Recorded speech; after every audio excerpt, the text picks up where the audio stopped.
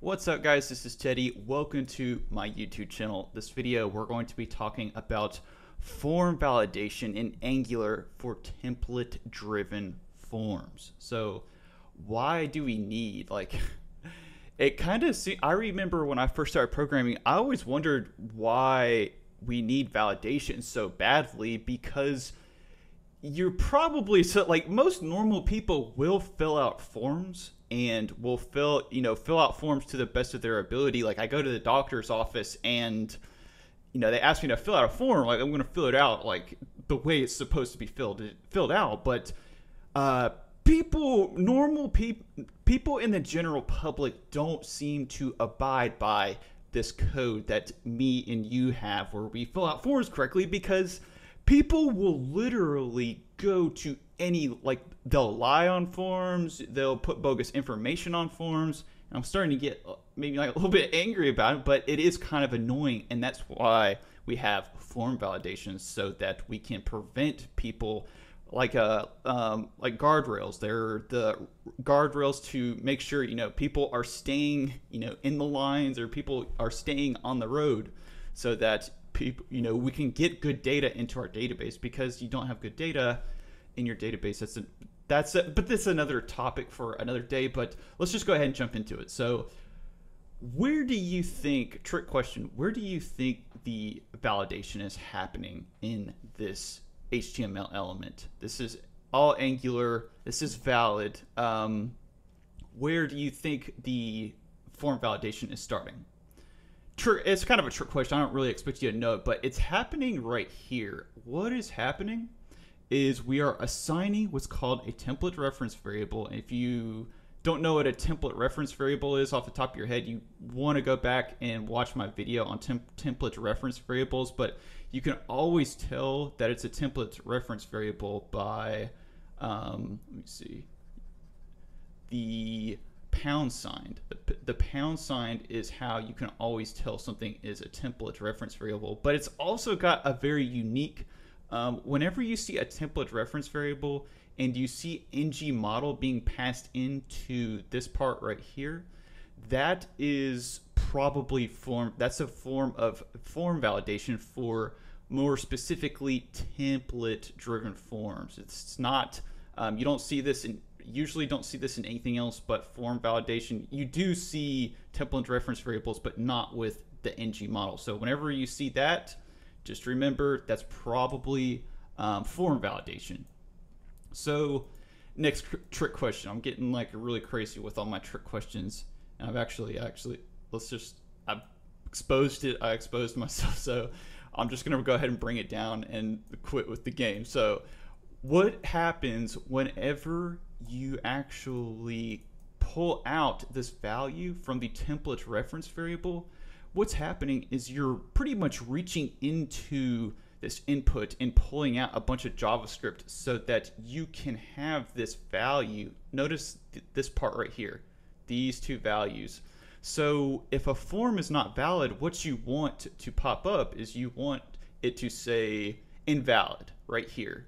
So if this if statement is if this uh, Pokemon name, if you notice these two things right here, is not pristine. So if it is pretty much dirty, dirty is the opposite of pristine. We'll talk about that here in a second. It's going to show up as this invalid. And it's not obviously, I'm pretty sure you're a web developer, so you know that it's going to show up like this and not in an actual div. So that's pretty much the whole entire idea behind form validation for template driven forms but there's some other things that you are going to need to know beforehand before you actually start coding anything. And look okay so let's just go back. Once again and i'm just going to erase a bunch of this. This is a template reference variable and i'm sorry if i'm being very repetitive but is kind of like the whole entire idea of this and why this exactly exists. This is basically turning this into a variable that from which you can manipulate. Then you can use it to check the validity of the form. So underneath the hood, whenever you instantiate this uh, ng model, what's going on underneath the hood is it's keeping track of all this for you. It's a lot of magic. Magic. it's a lot of magic going on, and it's got three different properties on here. So if you look here, we've got our Pokemon name again. I've already talked about that enough. But if you notice down here, what's going on is these are different forms of validation, different, almost like levels or different types. It's like different types of Pokemon. This is like a Squirtle, this is a Pikachu, this is a Bulbasaur.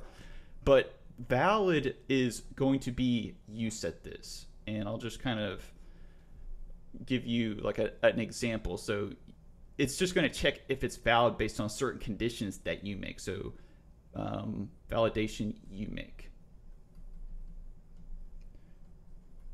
You make. Okay.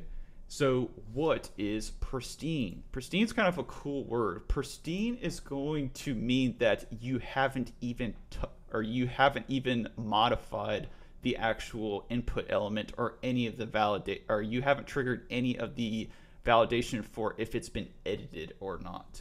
And or modified, edited, whatever you want to call it, but basically this is going to mean you have not edited it. You have not edited or modified, whatever you want to call it, modified, updated, um, many different things. Okay, so what is touched?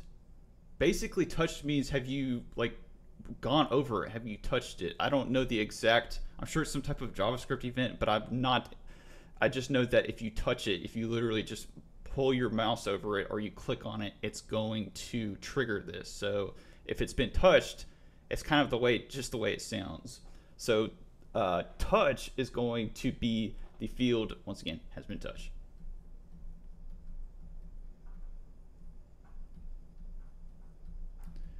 Okay, so these things are very simple to understand. Now the only thing that you need to understand is there's opposites of these, and I'm just going to get rid of all of this you just need to realize that just remember these three because there's other ones but you never see them i'm just going to be honest with you like you hardly ever see them and then you have to remember the opposites for these. So there's invalid so there's valid and then there's invalid. And there's pristine and then there is dirty So the opposite of pristine is going to be dirty, and these are actual properties that are going to be on this template reference variable. And valid, valid, you you have to understand that touched, and then the what do you think the uh, opposite of touched is? It's going to be untouched. Pristine is the only one that is kind of you have to think about a little bit pristine and dirty, but then again, it does make sense as well too. So that is pretty much the whole entire theory. Now let's go ahead and start working on um, coding this thing. So first thing, what we want to do is let's go ahead and create our template reference variable. And the way that I'm going to do that is let's not even make another input element. Let's just modify this one up here and I'm going to go ahead and, like I said, I'm going to go ahead and create the template reference variable. So I'm going to go Pokemon name is equal to, and once again, ng model. Whenever you see this, and whenever you see ng model within the quotes, just think form validation. That's all you got to think. So then we have our ng model. That's already taken care of. We don't have to worry about any of that now let's go ahead and, well, we've already got an ng model change, so we don't need to worry about any type of events.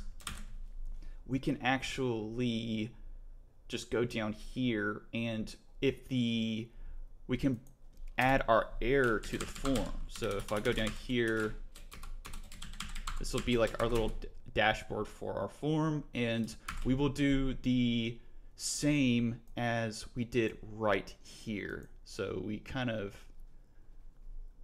based our actual validation off of this. This is where the actual words are popping up, and this is where the actual validation is going to happen. this is where you're instantiate. This is where you're basically building the infrastructure for the validation. You're not actually triggering anything that's going to tell the user something is invalid. Just a key point there. So we're going to go div. Then we'll go ng if. Then I'm going to go in here, Pokemon name. It's going to be just for good luck, charm. I'm going to tell you one more time. That is the template reference variables. Third time's a charm. Okay, so, and let's go ahead. I like the word pristine, so let's just go ahead and test pristine on there, but you could test any of them. Remember, there's valid, you can do invalid, there's pristine, there's dirty, and then there's touched, and then there's untouched. So we're gonna go pristine, and for some reason the validation on this is screwed up, or the type checking is screwed up, so I'm gonna go in here, and yeah, I'm gonna add a trailing, and I'm going to say this is not pristine anymore. It is dirty. Okay. And let's go ahead in here too and hmm I think that this is this is fine. If you want to add more validation, the only thing that you would have to do is just go in here and change this to dirty. If you want it or touched, if you want to do touched, untouched, or any of the other ones, feel free to, but I'm just going to do pristine. And I'm going to make sure that it is compiling. So we are compiling, and let's go in here and see Okay, so we've got our error and it's loaded, so we don't have any actual, uh, so our form is still pristine. We have not touched our form. It is, like I said, it is definitely pristine. And now we also have our template reference variable hooked up to our first is cool radio. So let's go ahead and touch it and see if it actually makes it dirty. So I'm gonna go in here, Pokemon is cool and not pristine anymore. It is dirty.